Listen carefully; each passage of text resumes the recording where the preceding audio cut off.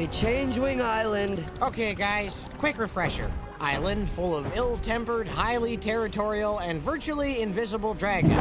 So we should buzz them. Really rile them up. I was thinking more along the lines of keeping our distance. I like the sound of that. That I don't like the sound of. Me neither. But we still need to check it out. What happened to the keep our distance policy? Whoa, that's a Scauldron. What, what's it doing on land? Catching some rays? Taking some alone time? Lucky dragon. Hmm, or maybe it's waiting for unsuspecting dragon riders to get too close so it can blast them with its scalding hot water. Oh, just lovely. Actually, I think he may be hurt. Let's check it out.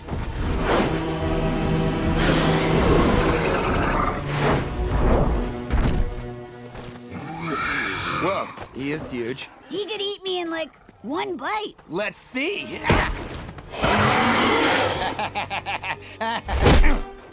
or maybe not. Hiccup, look! There must have been an earthquake. And before he could get back to the water, his wing got pinned.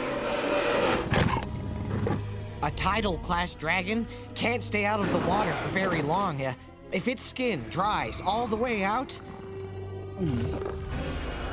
we have to help him. Perhaps I need to remind you, Scauldron and boiling poisonous death that way, Changewings and acid spitting invisible death that way.